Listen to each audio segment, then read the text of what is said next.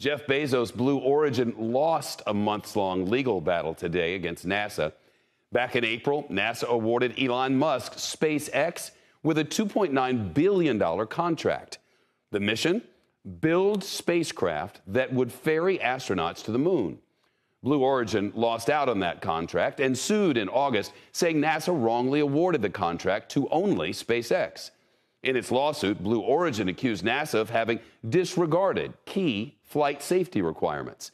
In a tweet today, Bezos seemed to suggest the company would not appeal the decision, saying it's not the decision we wanted, but we respect the court's judgment and wish full success for NASA and SpaceX on the contract. While SpaceX didn't respond to CNBC's request for comment, Elon Musk did reply to a CNBC reporter's tweet about the ruling, tweeting a photo from the 2012 movie uh, Dredd with the words, You have been judged. Shepard Smith here. Thanks for watching CNBC on YouTube.